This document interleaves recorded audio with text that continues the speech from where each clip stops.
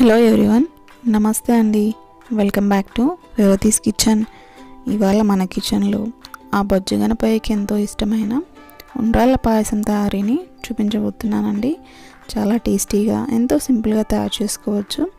ఈ ఉండ్రాళ్ళ పాయసాన్ని వినాయక చవితి రోజు స్వామివారికి నివేదించుకుందాము. సో వీడియోని స్కిప్ చేయకుండా చూడండి. ముందుగా దీని తయారీ కోసం ఒక కప్పు బెల్లం తీసుకోవాలి. బెల్లంను ఒక బౌల్లో వేసుకుని దానికి ఒక కప్పు బెల్లానికి రెండు కప్పుల వాటర్ పోసుకుని కరిగించుకోవాలి. ఒకసారి స్పూన్తో కలిపెట్టుకొని కాసేపు పక్కన ఉంచుకోవాలి. తర్వాత మిగిలిన ప్రాసెస్ చూద్దాము. ఇప్పుడు స్టవ్ వెలిగించుకొని ఒక కడాయి పెట్టుకుని కడాయిలో ఒక కప్పు వరకు నీళ్ళు పోసుకోవాలి. నీళ్ళు కొంచెం మరుగుతున్నప్పుడు రెండు స్పూన్ల బెల్లం వేసుకోవాలి. ఇప్పుడు మనం ఉండ్రాళ్ళ తయారీ చూస్తున్నామండి. ఉండ్రాళ్ళు చేసుకునేటప్పుడు ఇలా రెండు స్పూన్ల బెల్లం వేసుకొని చేసుకోవడం వల్ల ఉండ్రాళ్ళు చప్పగా ఉండకుండా ఉంటాయి. ఇలా బెల్లం కరిగేంత వరకు వేడి చేసుకున్న తర్వాత దీంట్లోకి మనం బియ్య పిండిని యాడ్ చేసుకోవాలి. ఇక్కడ మనం ఒక కప్పు వాటర్ తీసుకున్నాం కదా బియ్య పిండి కూడా ఒక కప్పే తీసుకోవాలి. ఇలా ఒక కప్పు బియ్య పిండిని మరుగుతున్న బెల్లం నీళ్ళలో వేసుకుని బాగా కలుపుకోవాలి ఉండలు లేకుండా. మనం ఇక్కడ పొడి బియ్యం పిండి వాడుతున్నామండి. అదే తడి బియ్యం పిండి వాడుతున్నట్లయితే ఒక కప్పు వాటర్కి బదులు ముప్పావు కప్పు వాటర్ పోసుకున్నట్లయితే సరిపోతుంది. ఇప్పుడు ఇలా ఉండలు లేకుండా కలుపుకున్న తర్వాత మూత పెట్టుకొని ఒక మూడు నిమిషాల పాటు లో ఫ్లేమ్లో పెట్టుకుని ఉంచుకోవాలి. మూడు నిమిషాల తర్వాత ఒకసారి మూత తీసి స్టవ్ ఆఫ్ చేసుకోవాలి. ఈ స్టవ్ ఆఫ్ చేసుకున్న ఈ బియ్యం పిండి మిశ్రమాన్ని ఒక ప్లేట్లోకి తీసుకుని ఒక రెండు మూడు నిమిషాల పాటు చల్లారనివ్వాలి. చల్లారిన తర్వాత ఇలా చేతితోటి మెదుపుకుంటూ బాగా కలుపుకోవాలి. ఇలా కలుపుకుంటూ ఒక పిండి ముద్దలాగా తయారు చేసుకోవాలి.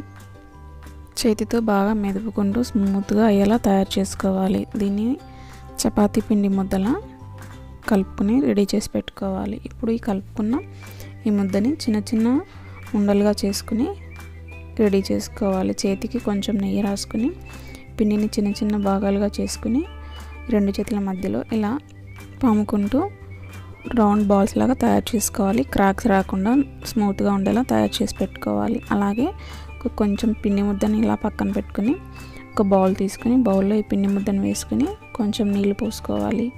నీళ్ళు పోసుకుని ఉండలు లేకుండా ఫైన్ పేస్ట్ లాగా అయ్యే విధంగా చేతితో కలుపుకోవాలి. ఈ కలుపుకున్న మిశ్రమాన్ని పక్కన ఉంచుకోవాలి. దీనిని మనము పాయసం చిక్కబడడానికి ఉపయోగించుకుంటామండి. కాబట్టి చేతితో బాగా ఉండలు లేకుండా కలుపుకొని ఇలా రెడీ చేసి పెట్టుకోవాలి. ఇప్పుడు పాయసం ఎలా తయారు చేయాలో చూసేద్దాము. స్టవ్ వెలిగించుకుని కడాయి పెట్టుకుని కడాయిలో ముందుగా కరిగించి పెట్టుకున్న బెల్లం ఉంది కదండి. బెల్లంని ఇలా టీ స్ట్రైనర్ సహాయంతో వడగట్టుకుని పోసుకోవాలి బాణల్లో.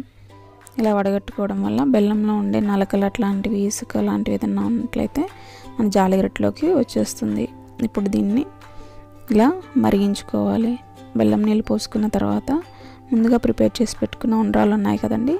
అవి వీటిలో వేసుకొని బెల్లంతో పాటు మరగనివ్వాలి. ఇలా వేసుకున్న తర్వాత మూత పెట్టుకుని ఒక పది నిమిషాల వరకు మీడియం ఫ్లేమ్లో ఉంచుకుని ఇలా బాగా మరగనివ్వాలి. పది నిమిషాలకి చూసుకున్నట్లయితే ఉండ్రాళ్ళు ఉడికిపోయాయి. ఇలా స్పూన్తో కట్ చేసుకొని చూసుకున్నట్లయితే తెలుస్తుందండి ఉడికాయా లేదా అనేది. ఇప్పుడు పది నిమిషాల తర్వాత ఉడికిపోయాయి కదా వీటిలోకి మనం చేసుకునే ఈ పాయసానికి మంచి ఫ్లేవర్ రావడం కోసం ఇలా మరుగుతున్నప్పుడు ఒక స్పూన్ ఇలాచీ పౌడర్ వేసుకోవాలి. దీనివల్ల మంచి ఫ్లేవర్ వస్తుంది. అలాగే ఒక గుప్పెడు కొబ్బరి తురుము వేసుకోవాలి. ఇక్కడ నేను పచ్చి కొబ్బరి తురుము అవైలబుల్గా ఉంది కాబట్టి అది వేసుకుంటున్నానండి. పచ్చి కొబ్బరి తురుము లేనట్లయితే ఎండు కొబ్బరి తురుము అయినా వేసుకోవచ్చు. కాకపోతే ఎండు కొబ్బరి తురుముని కొంచెం గీలో ఫ్రై చేసుకుని వేసుకుంటే బాగుంటుంది. అలాగే ఇవి రెండు వేసుకున్న తర్వాత ముందుగా ప్రిపేర్ చేసి పెట్టుకున్నాం.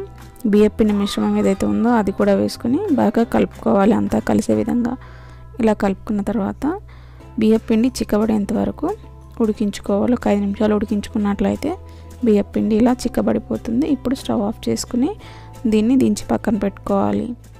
ఇలా పక్కన పెట్టుకున్న మిశ్రమంలోకి మనం డ్రై ఫ్రూట్స్ యాడ్ చేసుకోవాలి అలాగే పాలు యాడ్ చేసుకోవాలి. పాలు వెంటనే వేసినట్లయితే విరిగిపోతాయి కాబట్టి ఈ మిశ్రమం కొంచెం చల్లారేంత వరకు వెయిట్ చేయాలి.